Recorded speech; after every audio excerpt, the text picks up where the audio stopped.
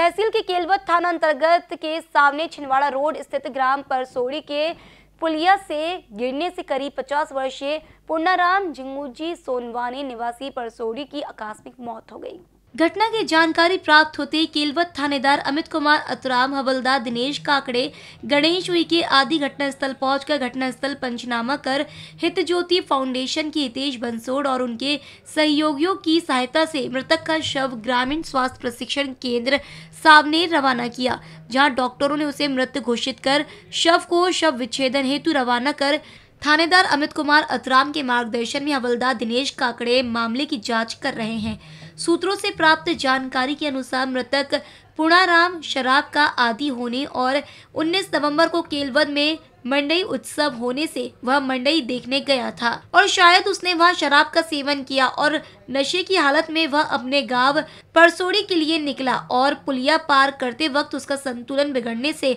वह पुलिया से नीचे गिरने के कयास लगाए जा रहे हैं। रात का अंधेरा होने से उक्त घटना किसी के नज़र में नहीं आई और सुबह होते ही उक्त घटना उजागर होने की खबर है। सावनेर से एनबीसीएन न्यूज़ के लिए संवाददाता किशोर ढूंढेले की रिपोर्ट।